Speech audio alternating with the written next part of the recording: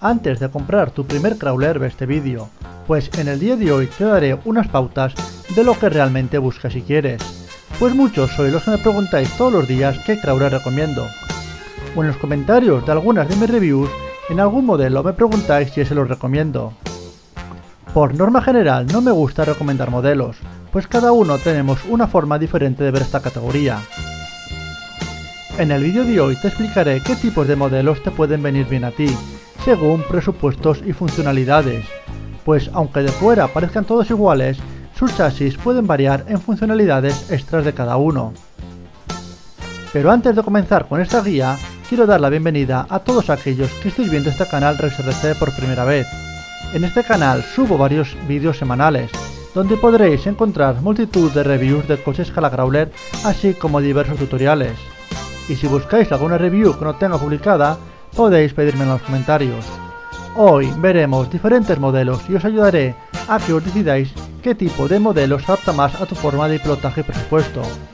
Así que un día más poneos cómodos y estad atentos porque estáis en RexRC y comenzamos.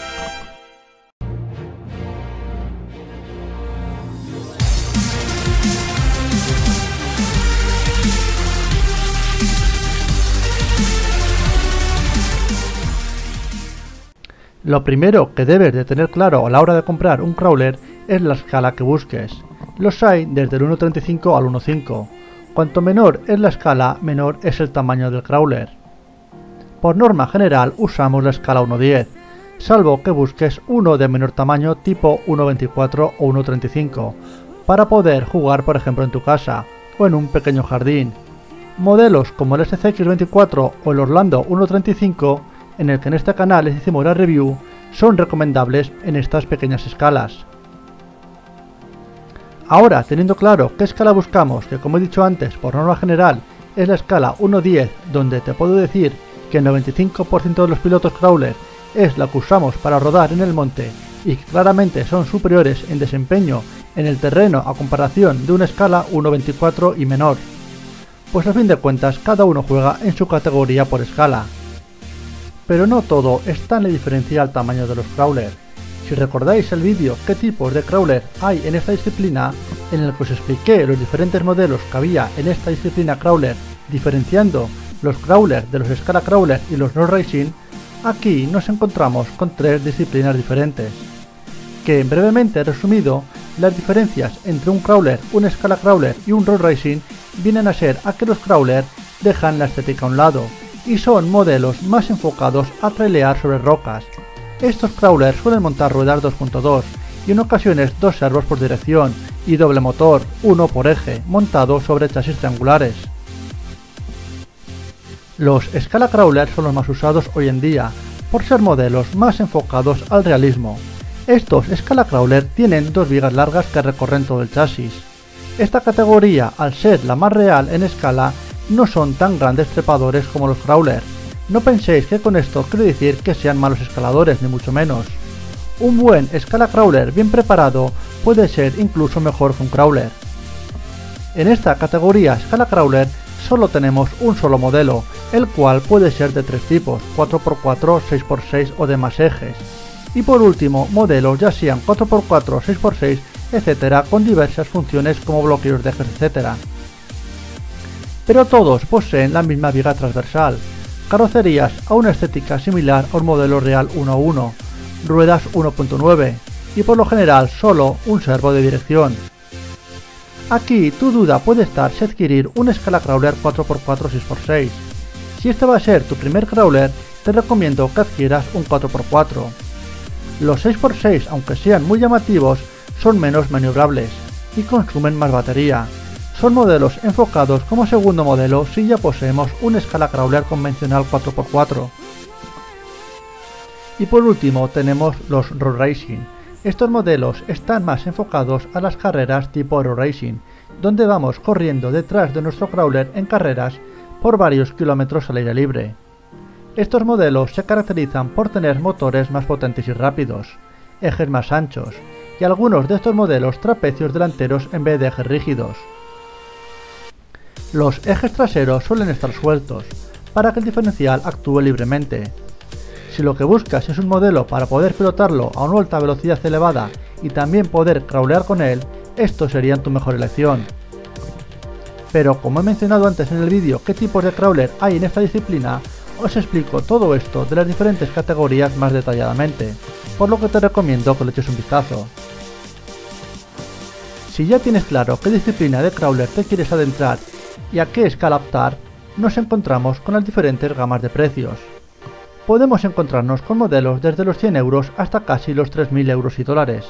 Pero no os confundáis, a la hora de escalar que invertamos más dinero no viene a ser que nuestro modelo sea mejor trepador.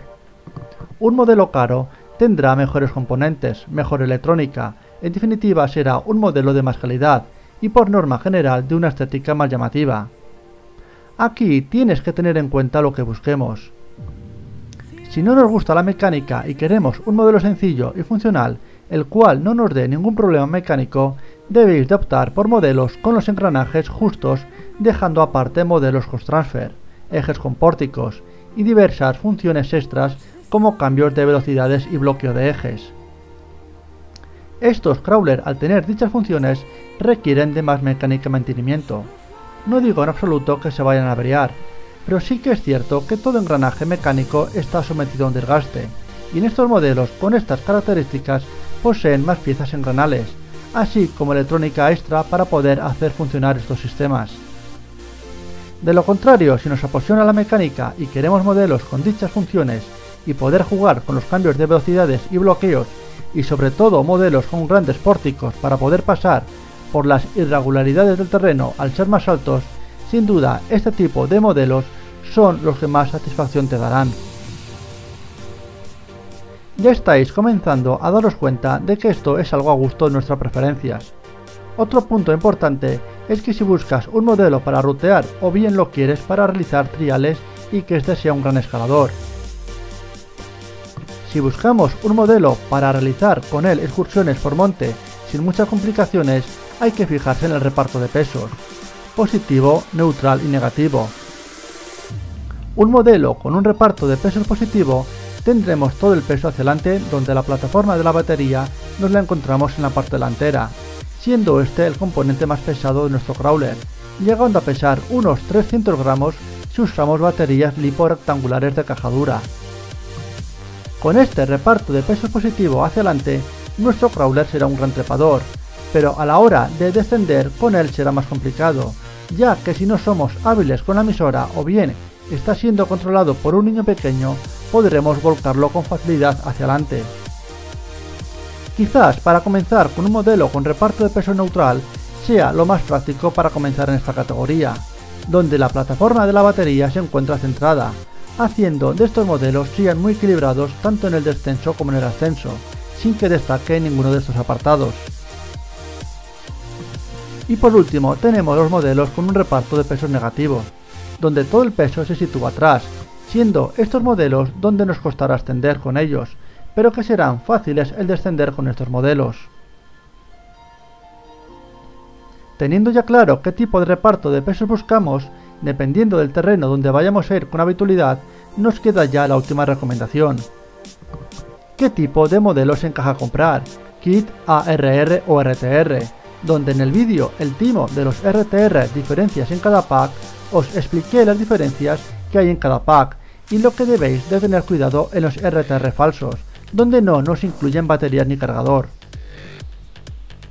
Si somos amantes de los montajes y queremos luego colocarle una electrónica a nuestro gusto, las ediciones kit totalmente desmontados son tu mejor elección.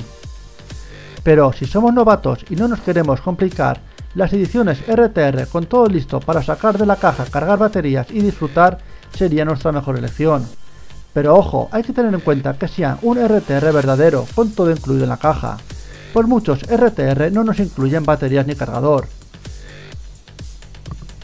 En definitiva, y para ir terminando, como habéis visto, a la hora de elegir un crawler es una decisión personal sobre el tipo de modelo que buscamos, sobre un específico terreno, las funciones extras y sobre todo el presupuesto que dispongamos. En este canal tenéis una larga lista de reviews con una gran lista de modelos de los cuales he analizado y te muestro todos sus apartados técnicos, electrónicos, precio y mi opinión sobre cada correspondiente modelo. así como vídeos donde te recomiendo modelos según lo que estés buscando. Una gran multitud de tops desde tops de gama baja, tops de gama media y tops de gama alta. Y con un top 10 de los mejores escala crawler elegidos por toda la comunidad que formamos RexRC en una votación anterior. Y hasta aquí el vídeo de hoy, el cual espero que os haya parecido interesante. No olvidéis compartir este vídeo con otras personas que creas que les puede interesar lo que hoy hemos tratado. Y si aún no formáis parte de RexRC, os animo a que os suscribáis. Subo varios vídeos todas las semanas, así que estad atentos y no os perdéis nada. Y nos vemos ya sabéis dónde, aquí en RexRC en el próximo vídeo.